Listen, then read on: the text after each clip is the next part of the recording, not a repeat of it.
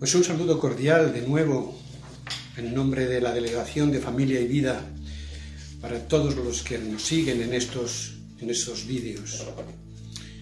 Y aprovecho también para agradecer a los que colaboran con nosotros en el ejercicio de estos vídeos, como son los medios de comunicación social de la diócesis, o una familia también que nos recoge luego este material, nos lo pone también en nuestra página, una familia de Alba muy querida que nos está haciendo muchísimo servicio. Pues, y luego a todos vosotros, porque sé que luego lo mandáis de un lado para otro y corren estos vídeos más allá de donde nosotros tenemos previsto. A todos muchas gracias. Bien, eh, estamos en la cuaresma, y estamos también todavía, por desgracia, en tiempo de crisis. Por una cosa y por otra, me parece que es muy interesante hacer una reflexión acerca de la penitencia como sacramento de la alegría. Nos hace falta tiempo de penitencia, tiempo de crisis. Es importante vivir este sacramento que nos llena de alegría. Recordamos aquel pasaje que cuenta San Lucas 15, 1, 10. Los fariseos y los letrados murmuraban entre ellos, ese, Jesús, acoge a los pecadores y come con ellos. Jesús les dijo esta parábola. Os digo que así también habrá más alegría en el cielo por un solo pecador que se convierta que por 99 justos que no necesiten convertirse es muy importante. La conversión y el perdón de Dios es fundamental. Y más en tiempo de crisis y más en tiempo de cuaresma. En primer lugar, hemos de decir que es verdad, es verdad que el sacramento de la confesión está pasando momentos de crisis, es verdad. Gilbert Chesterton Escribía en el periódico a cierto articulista, a su juicio, confesar los pecados es algo morboso. Pues yo le contestaría que lo morboso es no confesarlos. Lo morboso es ocultar los pecados dejando que le corran a uno el corazón, que es el estado en que viven felizmente la mayoría de las personas de las sociedades altamente desarrolladas pensamos nosotros de la confesión? Es evidente que el sacramento de la confesión no está de moda.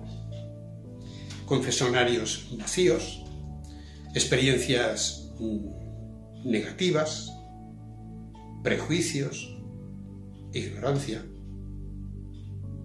Parece que todo concurre para que este tesoro esté cada vez más escondido. E incluso para nuestros fieles más practicantes. Recuerdo en Roma una celebración a la que participamos en la clausura del Año Santo sacerdotal. 15.000 sacerdotes nos juntamos allá. Y Monseñor Joaquín Meisner, arzobispo de Colonia, dio una conferencia preciosa que titulaba Conversión y Misión.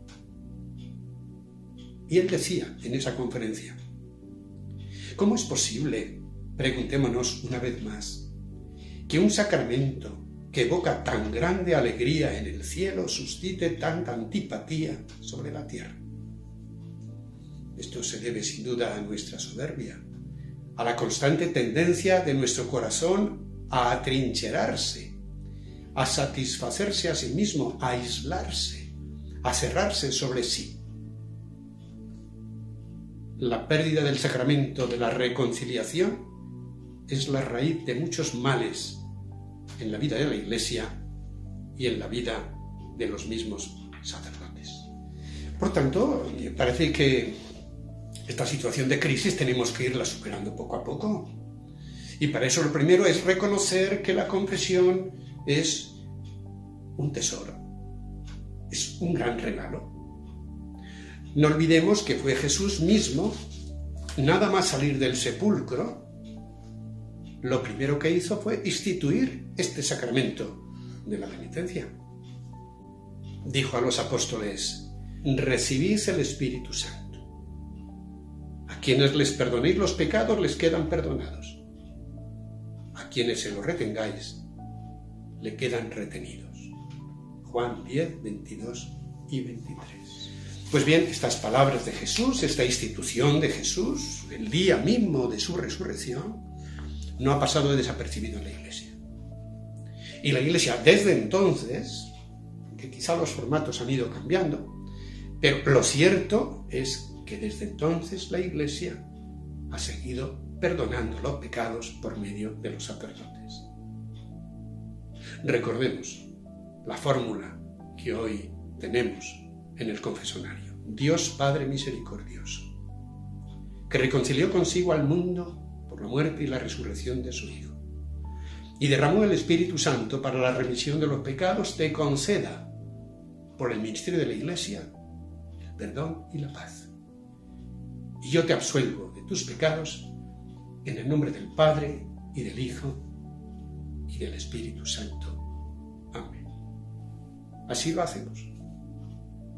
Quizá por el tiempo transcurrido de confesarte a lo mejor no te das cuenta y quizá en aquel momento tampoco captas bien el sentido de estas frases.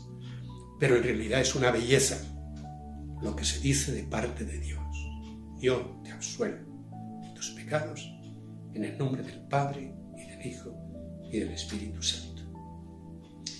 Juan Pablo II, en la exhortación apostólica Reconciliación y Penitencia, dice expresamente la grandeza, la grandeza de este sacramento.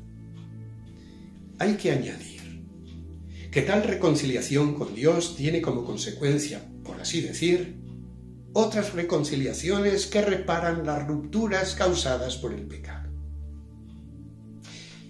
El penitente, perdonado, se reconcilia primero consigo mismo, en el fondo más propio de su propio ser en él que se recupera la propia verdad interior. Pero a la vez se reconcilia con los hermanos, agredidos y lesionados por él de algún modo. Se reconcilia con la iglesia y se reconcilia con toda la creación. Por tanto, no hay método de unidad más importante que la confesión porque nos pone en reconciliación permanente con todos, incluso con nosotros mismos, que a veces es donde está el problema primero. Por tanto, es preocupante lo que provoca que el cielo tenga tanta alegría y a nosotros en cambio nos deje indiferentes. ¿qué pasa? Es que, es que, es que no lo entendemos. En el caso de los que han abandonado la confesión, la cosa es clara. Lo que no se practica no se conoce. Y al fin, pues eh, no se ama y al fin se abandona. O sea, eso es evidente. Pero otra cosa es la crisis entre los que aún practican o seguimos confesándonos. ¿Por qué experimentamos esa frialdad? ¿Será acaso que no nos confesamos bien? Pues seguramente. Hemos de reconocer, sinceramente, que la confesión no es un sacramento fácil. Y la reforma del ritual no ha salvado todas las dudas y todas las desilusiones que teníamos. Por tanto, en este momento en que queremos que resplandezca de nuevo el sacramento, tenemos que poner sobre la mesa las cinco partes en que en realidad se compone el sacramento de la penitencia y que lo estudiábamos en el catecismo antiguo, pero que hoy también la Iglesia sigue enseñando. Porque entre esas cinco maneras de complementarse el perdón de Dios, existe verdaderamente lo que llamamos un acto humano pleno. Eh, vamos a verlo, porque puede ser interesante y curioso. En primer lugar, decimos que hay que hacer examen de conciencia. Bien. Ahí ponemos en marcha el primer motor que la persona ha de hacer funcionar para ser persona, que es la inteligencia. En ese primer momento, la inteligencia tiene que ser capaz de ver con claridad dónde está el bien y dónde está el mal. Es necesario ver la vida pasada y ponerla en contraste con la palabra de Dios. Esta es una clave fundamental. Porque no se trata de hacer el examen de conciencia simplemente diciendo, a ver qué me parece a mí, a ver si estoy conforme con la opinión pública. No, no, no. La luz es la palabra de Dios. Por eso una buena confesión tiene que partir de un texto bíblico. Es decir, tengo que buscar la luz en la palabra de Dios. Y entonces resulta que cada confesión que yo hago, si parto de un texto bíblico diferente, mis confesiones serán cada vez diversas. No acabará pasando eso que decimos a veces, bueno, es que yo siempre tengo que decir lo mismo. No, no.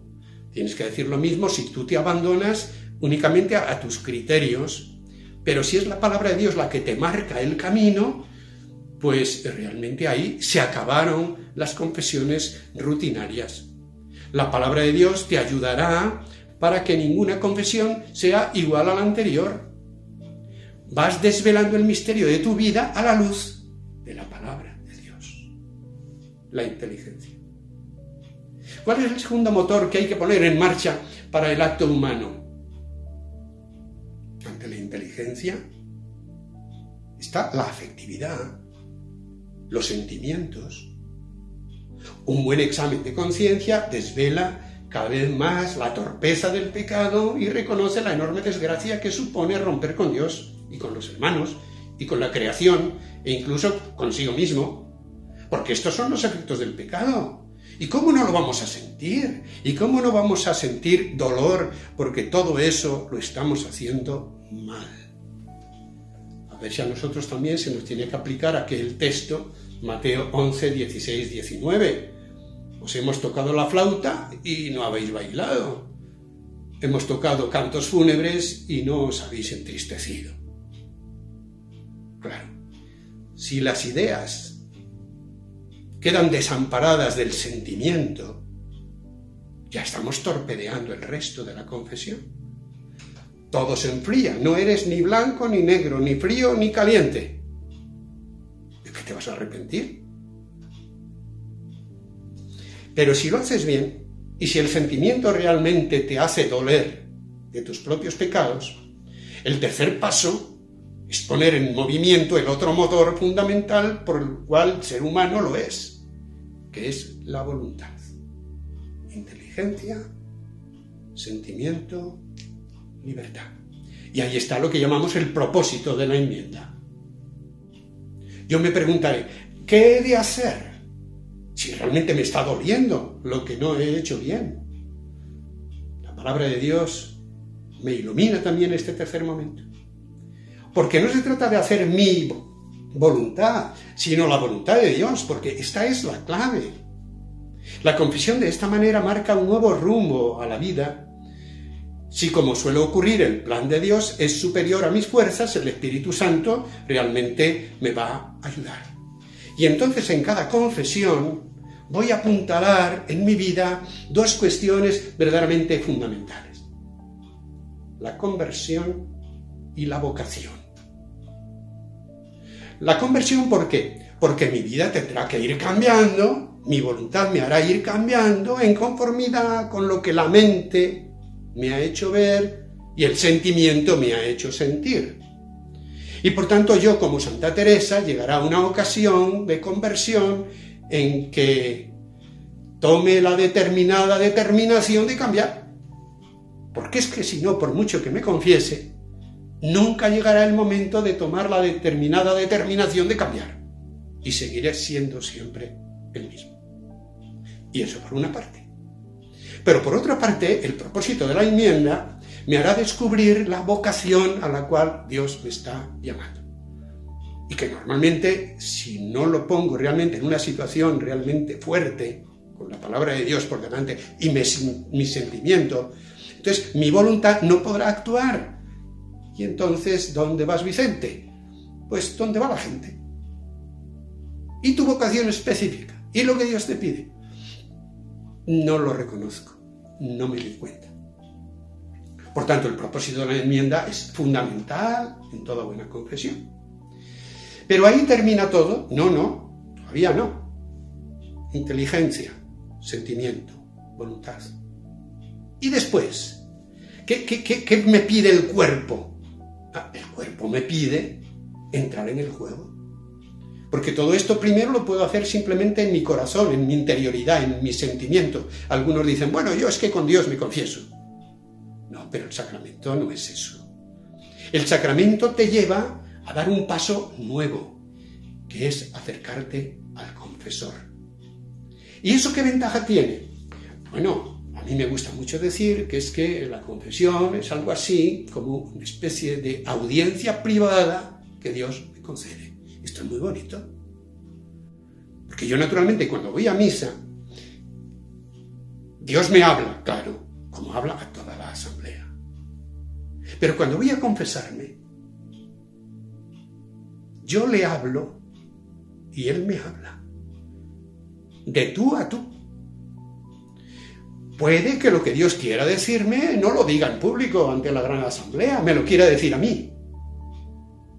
Yo de rodillas ante el sacerdote me pongo disponible a escuchar la voz del Señor, que me ha escuchado y que quizá tenga cosas que decirme. Por tanto, es realmente un tiempo precioso el que tengo para que realmente el Señor pueda hablarme claramente. Y por tanto, mi cuerpo va a quedar tranquilo, porque lo que llevo en el corazón, lo digo. Y luego, el perdón de Dios, lo escucho. Ya son cosas realmente materiales pero son significativas, que incluso lo saben bien los psicólogos, los psiquiatras, cómo es muy importante que lo que llevamos dentro lo expresemos, lo digamos. Esto Jesús ya lo pensó para la confesión como medio de salvación y de terapia. Y luego queda el último, el último paso a dar, que es lo que se dice cumplir la penitencia. ¿Por qué? Pues porque el pecado realmente es algo que realmente tiene, digamos, dos efectos. Yo he robado y en primer lugar, si quiero ponerme en paz, tengo que ir a esa persona y decirla, lo siento, perdóname. Eso es la confesión. Pero con eso no concluye, porque después lo que tengo que hacer es devolver el dinero que he robado. Eso es la penitencia. Bueno, pues en la confesión, el último paso, decimos, es cumplir la penitencia. Es decir, es empezar con un signo concreto, de acuerdo con el sacerdote, ¿verdad? Un signo mediante el cual yo comience esa reparación, a superar esa situación realmente injusta que he cometido. Y por tanto, tengo que empezar a reparar. Y después de la confesión, incluso cumpliendo la penitencia como signo que el sacerdote me ha impuesto, yo tengo que seguir haciendo otras penitencias complementarias, como dice la Iglesia, la oración, la limosna, el ayuno, la caridad, e incluso las indulgencias, que son otro medio eficaz por el cual la Iglesia me ayuda a desprenderme de la penitencia que tengo que cumplir. Por tanto, en estos cinco puntos realmente el ser humano se está manifestando en plenitud a sí mismo. Por tanto, ¿qué decir al final? Hombre, teniendo este tesoro, teniendo esta posibilidad de rehacer mi propia personalidad, de conquistar mi propia santidad, ¿qué he de hacer? Confesarme. Los santos han tenido siempre mucho amor a la confesión. Vuelvo al cardenal Messner en aquella conferencia en Roma.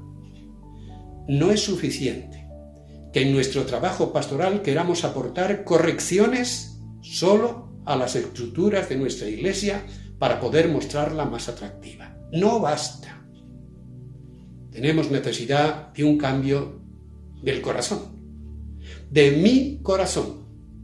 Solo un Pablo convertido pudo cambiar el mundo, no un ingeniero de estructuras eclesiásticas. Esta llamada a mí me parece que es bien interesante, que se complementa con palabras del Papa Francisco en la Plaza de San Pedro el 19 de febrero de 2014. Queridos amigos, celebrar el sacramento de la reconciliación significa ser envueltos en un abrazo caluroso. Es el abrazo de la infinita misericordia del Padre.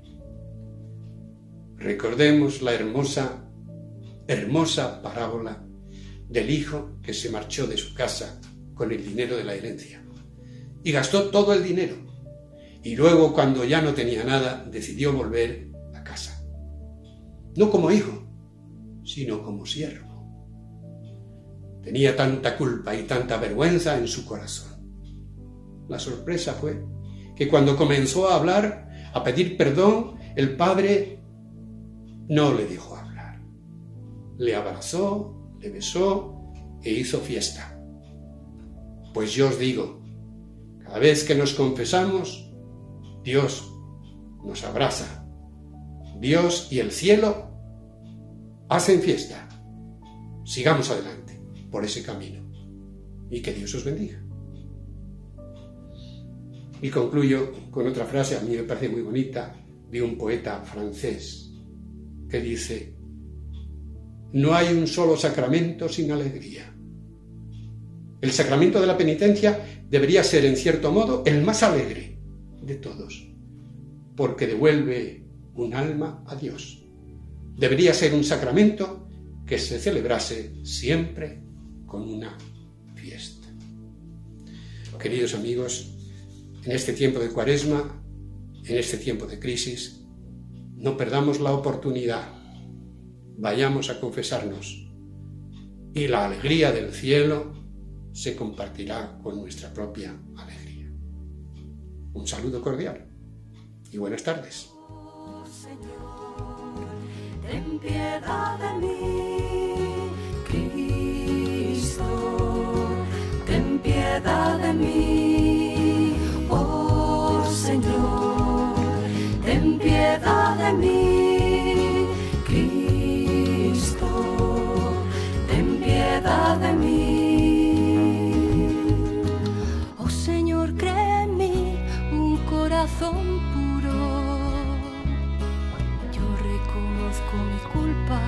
ten piedad de mí.